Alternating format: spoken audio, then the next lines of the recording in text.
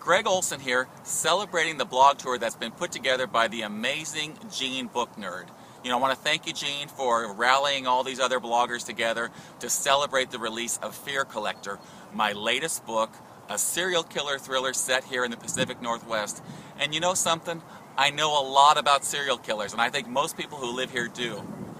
I'm standing right now in front of the Green River, and if you know anything about the annals of crime, you know that Gary Ridgway who killed more than 80 women, is one of the worst serial killers in the history of our country. And he dumped many of his bodies right along these banks. I'm here to talk about Fear Collector. I'm wanting to see what you all think about it. I'll be joining you online over the next week or so. And thanks for participating. Looking forward to talking.